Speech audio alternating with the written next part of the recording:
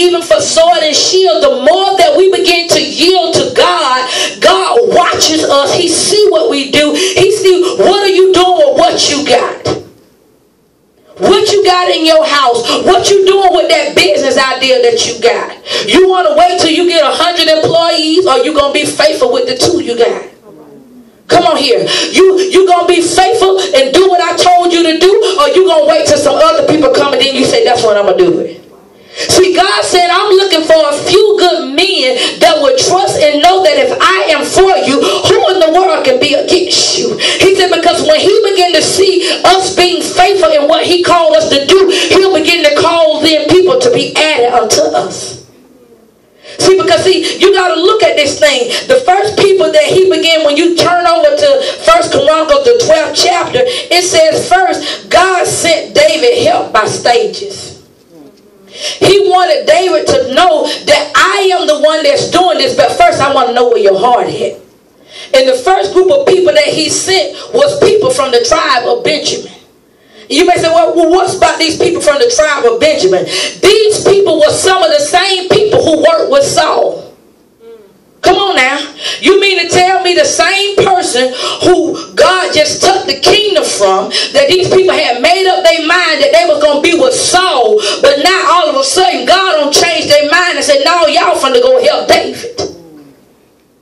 What, you say what I'm saying? God saying that I will take from your enemy and give to you.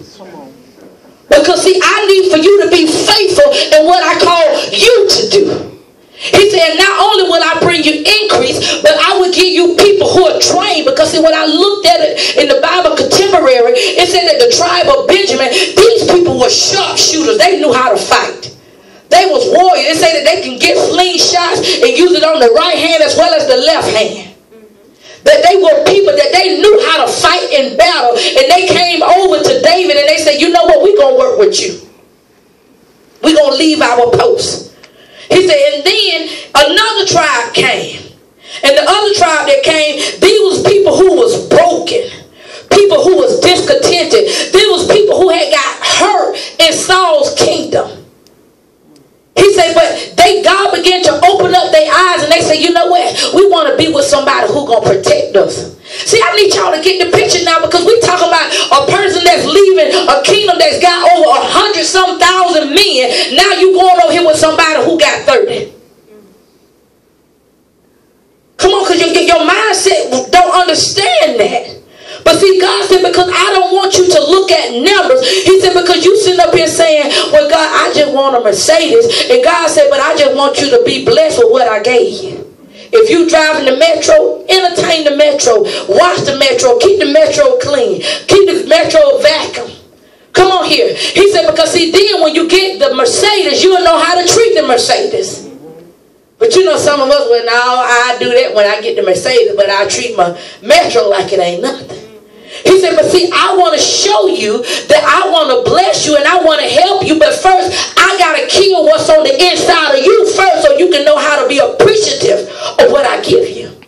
See, because see, he said, if you don't know how to manage your checkbook now, that's telling me when you get to be a millionaire, you ain't going to know how to manage it. If you can't be faithful and pay your bills now, he said, why would I trust you with a million dollars? The Bible said, when you be faithful over little, I make you ruler. You got to understand with this tribe of Gad, they were people that they were trained for war. These people, they were so swift and quick that they, they had the faces of lions that they say no man could look at them. They was disciplined. They was trained. Matter of fact, God said that he even sent the best of the best. He sent them the commanders. Come on, this is good to me all by myself because you sitting up here trying to figure out, God, where am I going to get the resources? And he said, but if you just do what I told you to do and do it faithfully, you're going to see I'm going to add it to you.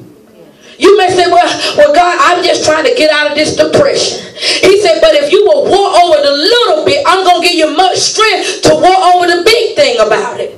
But you first got to say, now depression, you don't belong to well, you know what, God, if you just help me, if you just take all my problems away. God said, first, no, I need you to deal with what you're dealing with first. Before you go and try to say, well, I'm going to take over this.